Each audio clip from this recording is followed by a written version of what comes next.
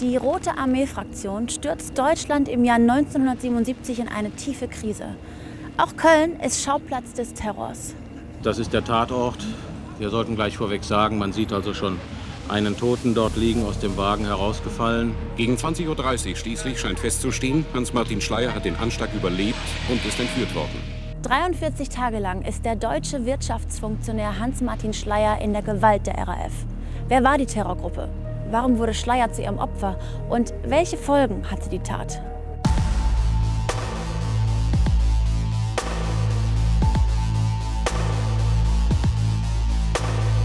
Aktuell steht die RAF wieder im Fokus. Bis heute wird nämlich nach ehemaligen Mitgliedern gefahndet und erst kürzlich gab es eine Festnahme. Jetzt ist die Flucht für Daniela Klette vorbei. Sie ist in Berlin gefasst worden. In diesem Film geht es aber um die Zeit, in der die Bedrohung durch die aktive RAF Deutschland in Angst versetzte. Ich bin hier in Köln-Braunsfeld und hier ereignet sich am späten Nachmittag des 5. September 1977 ein Verbrechen mit tödlichen Folgen. Es markiert den Beginn einer der schwersten Krisen der Bundesrepublik, der sogenannte Deutsche Herbst. Das Opfer Hans-Martin Schleier, zu dem Zeitpunkt Präsident der Bundesvereinigung der deutschen Arbeitgeberverbände. Schleier, 1915 in Offenburg geboren, Jurist, Chorstudent, Doktor der Rechte, NS-Studentenführer, Mitläufer, Geschäftsführer, Personalchef, Vorstand von Daimler-Benz, Manager. Die Arbeitgeberverbände und der Bundesverband der deutschen Industrie sind in Terroristenaugen die Symbole einer Wirtschafts- und Gesellschaftsordnung, die sie ebenso hassen und bekämpfen wie den freiheitlichen Rechtsstaat. Die Täter? Ein vierköpfiges Sonderkommando der RAF. Der 62-jährige Schleier ist auf dem Weg zu seiner Kölner Dienstwohnung, chauffiert von seinem Fahrer.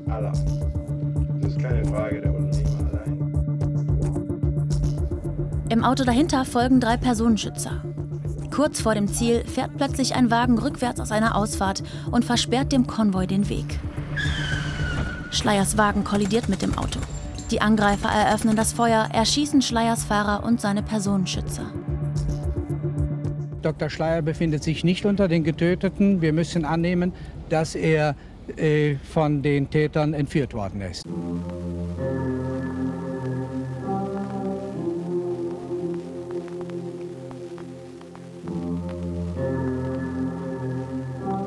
Später wird klar, die Angreifer haben Hans-Martin Schleier in einen VW-Bus gezerrt und sind geflüchtet.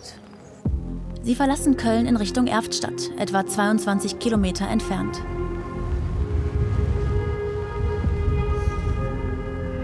Im dritten Stock dieses Hauses halten die Terroristen Hans-Martin Schleier zunächst gefangen.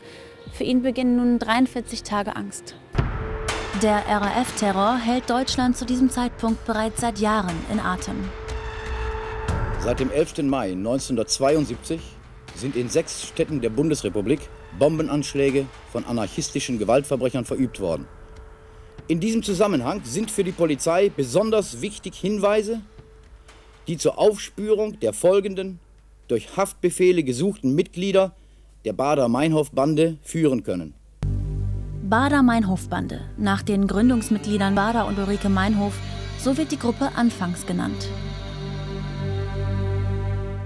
In den letzten sieben Jahren sind bei terroristischen Gewalttaten 15 Menschen getötet worden. 88 äh, Personen sind verletzt worden. 13 waren Gegenstand von Geiselnahmen. Wer war die Rote Armee-Fraktion und was wollte sie? Im Jahr 1968 protestiert die deutsche Studentenbewegung gegen das veraltete Hochschulwesen, den Vietnamkrieg und die Große Koalition. Gudrun Enslin und Andreas Bader kennen sich aus der Szene. Sie befürworten den gewaltsamen Protest und verüben im April 1968 Brandanschläge auf zwei Frankfurter Kaufhäuser ihr Zeichen gegen den Vietnamkrieg. 1970 sitzt Bader für die Tat in Haft. Enslin konnte untertauchen und plant seine Befreiung. Inzwischen ist die Journalistin Ulrike Meinhof Teil der Gruppe geworden, was die Öffentlichkeit noch nicht weiß. Um bei der Befreiung zu helfen, täuscht sie ein gemeinsames Buchprojekt mit Bader vor. Im Mai 1970 fand dann ein Treffen im Deutschen, Institut, äh, im Deutschen Zentralinstitut für soziale Fragen in Berlin statt. Und Ulrike Meinhoff sollte dann mit Andreas Bader äh, die ersten Recherchen für das Buchprojekt durchführen. Dieses Buchprojekt gibt es gar nicht. Es ist nur ein Vorwand. Weitere Verbündete von Bader, Enslin und Meinhof dringen in das Institut ein. Dabei wird ein Angestellter verletzt.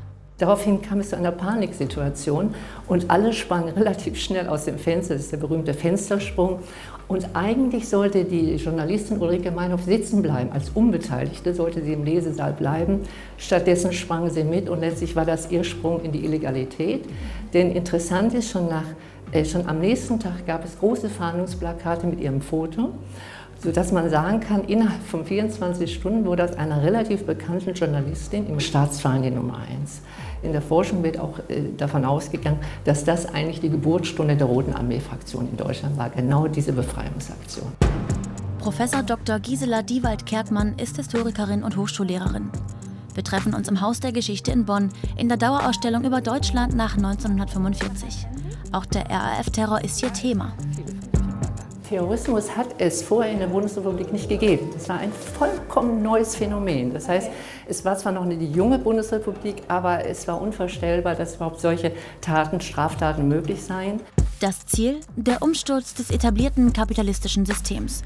Die RAF führt einen in ihren Augen antiimperialistischen Kampf mit Gewalt. Im Mai 1970 ist das Geburtsdatum der Roten Armee-Fraktion.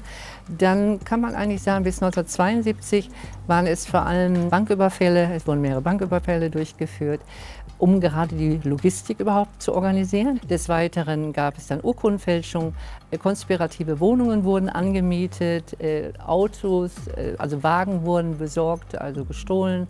Also das heißt, man hat versucht, erstmal den, die RF aufzubauen.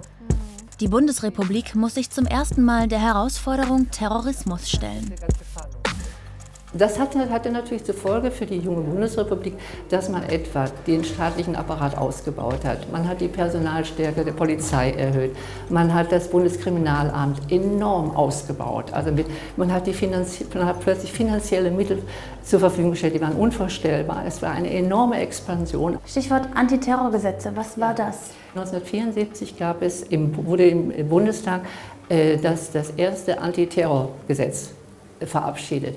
Dieses Antiterrorismus- oder Antiterrorgesetz beinhaltet beispielsweise neben, neben weiteren Änderungen, dass auch die Verteidiger aus, vom Prozess ausgeschlossen werden konnten. Das hat es vorher nicht gegeben. Zwei Jahre später gab es ein weiteres Antiterrorpaket. Der berühmte Paragraph 129a machte auch die Bildung von terroristischen Gruppen zur Straftat. Das hat es vorher auch nicht gegeben.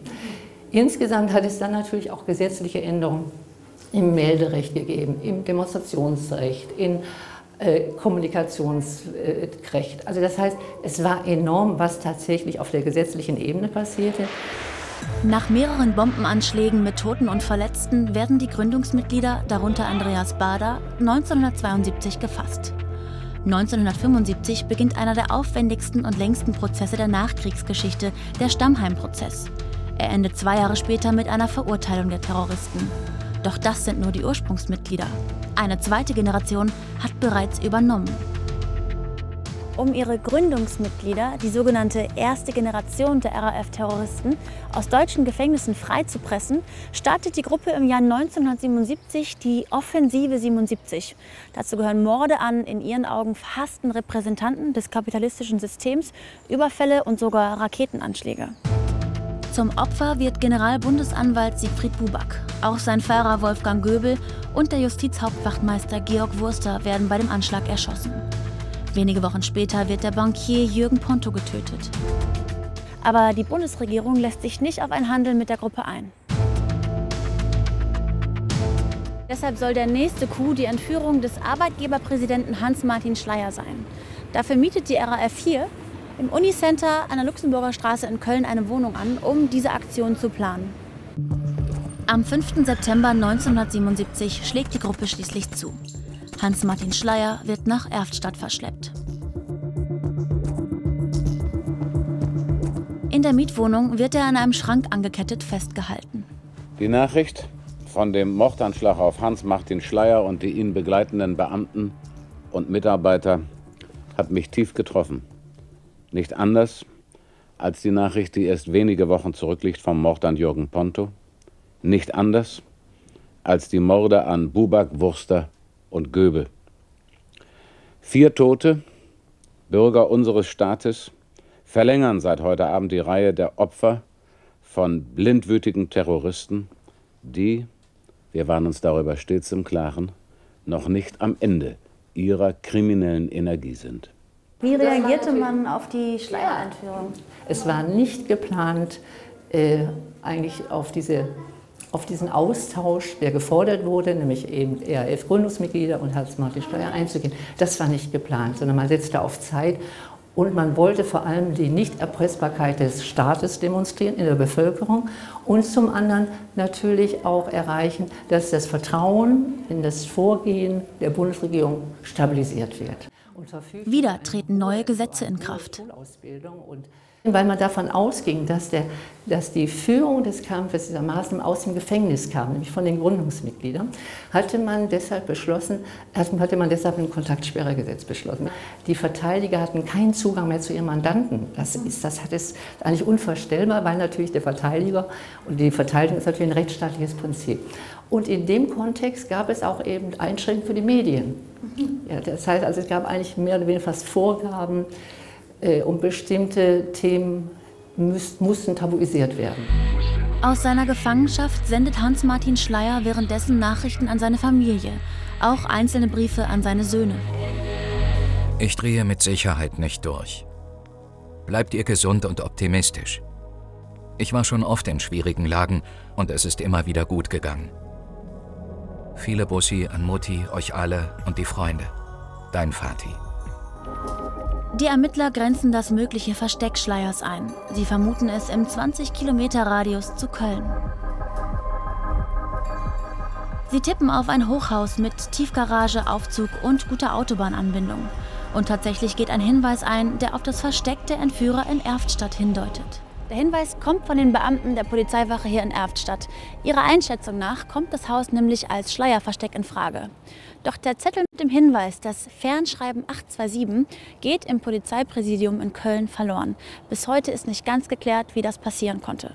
Jedenfalls wird der Hinweis nicht überprüft und Schleier nicht befreit. Stattdessen wird er von den Entführern weiter verschleppt nach Den Haag, Brüssel, Lille und schließlich ins Elsass. Fünfmal lässt die Bundesregierung ein Ultimatum der Entführer verstreichen. Die Nachrichten des Entführten werden dringlicher. Hier an Tag 40 seiner Gefangenschaft.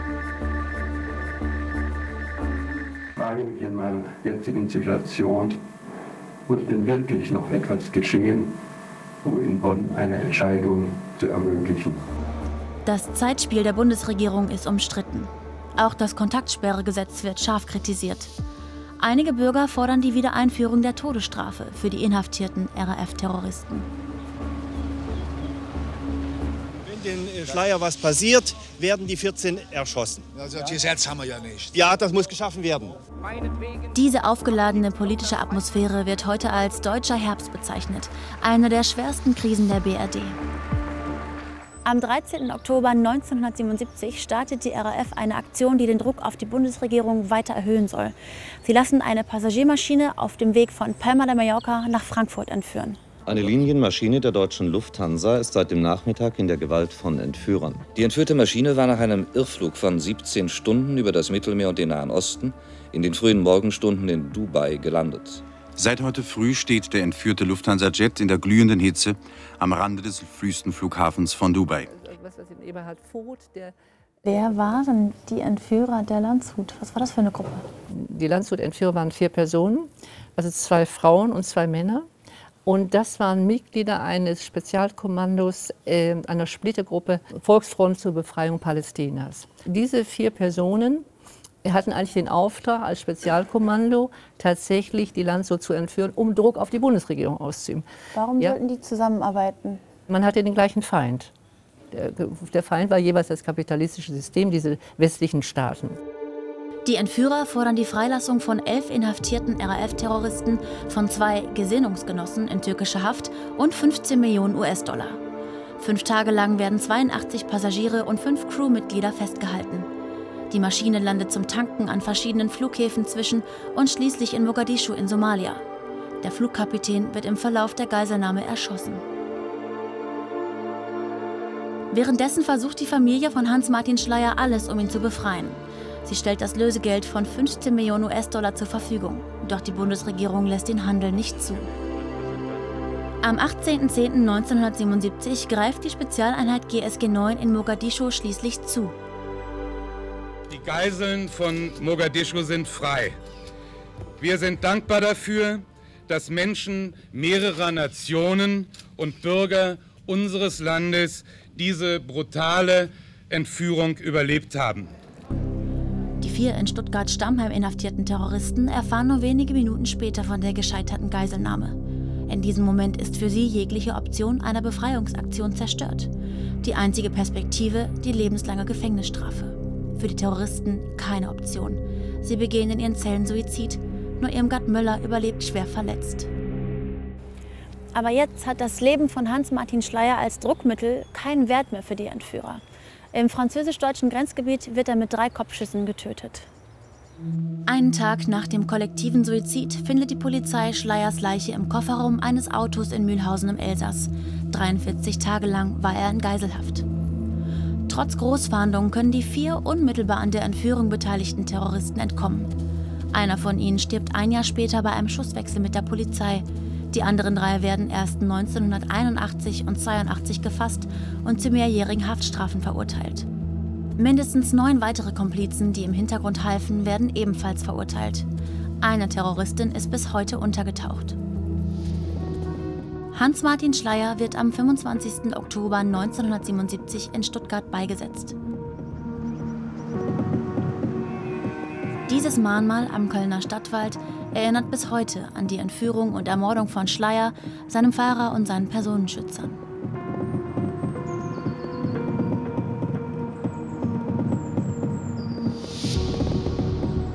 Kürzlich wurde Daniela Klette festgenommen. Es wird weiterhin gefahndet nach ehemaligen RAF-Mitgliedern. Welche Rolle spielt denn die Gruppe noch heute? Was würden Sie sagen? So in diesem Zusammenhang wird dann natürlich auch besprochen äh, oder die Gefahr wieder heraufgeschworen und diskutiert, dass es eine neue oder eine vierte Generation der Roten Armee-Fraktion geben wird. Ich halte diese These, also ich glaube, es ist mehr als unwahrscheinlich, dass es eine vierte Generation der EHF geben wird. Äh, das ist wirklich äh, nicht zu belegen. Als Fazit der ganzen Diskussion würde ich sagen, die Rote Armee-Fraktion hat sich, heute, hat sich 1998 aufgelöst. Offiziell war die Auflösung dann und ist auch heute nur noch Geschichte.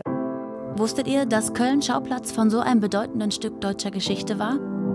Hinterlasst mir eure Gedanken zum Fall doch gerne unten in den Kommentaren.